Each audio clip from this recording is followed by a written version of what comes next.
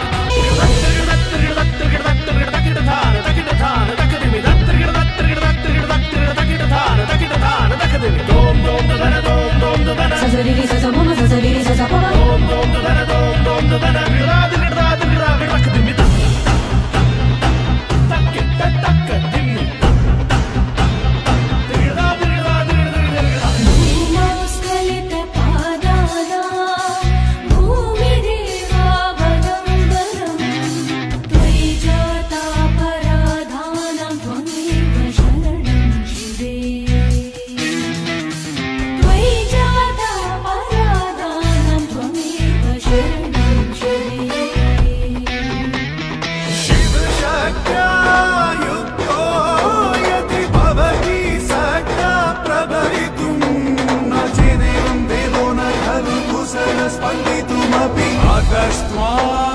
माराभ्यं हरिहरविञ्चादिभिरपि करणं कोतुम् मा